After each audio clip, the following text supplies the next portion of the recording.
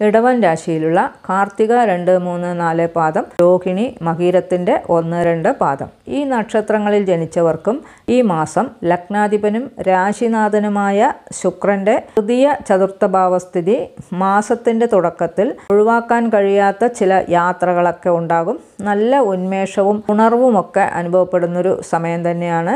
ജോലി സംബന്ധമായി സ്ഥലം മാറ്റമൊക്കെ ആഗ്രഹിക്കുന്നവർക്ക് മാസത്തിന്റെ ആരംഭത്തിൽ സ്ഥലം മാറ്റത്തിനുള്ള യോഗമൊക്കെ കാണുന്നുണ്ട്. തൊഴിൽപരമായി ഒന്നിന് രണ്ട് തൊഴിൽ ചെയ്യാനുള്ള യോഗമൊക്കെ കാണുന്നു. കർമ്മസംബന്ധമായിട്ടുള്ള ചിലവുകളും കാണുന്നുണ്ട്. പുതിയതായി തൊഴിൽ അന്വേഷിക്കുന്നവർക്ക് സമയം വളരെ അനുകൂല നിലയിലാണ് കാണുന്നത്.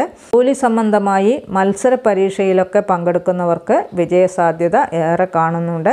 ഒരു മത്സരത്തോടുകൂടി നേടിയെടുക്കാനുള്ള യോഗമൊക്കെ കാണുന്നുണ്ട്. വീട് വയ്ക്കാനോ സ്ഥലം വാങ്ങിക്കാനോ ഒക്കെ ആഗ്രഹിക്കുന്നവർക്ക് രാശി ലഗ്നക്കാർക്ക് സമയം അനുകൂലമായിട്ടാണ് കാണുന്നത്.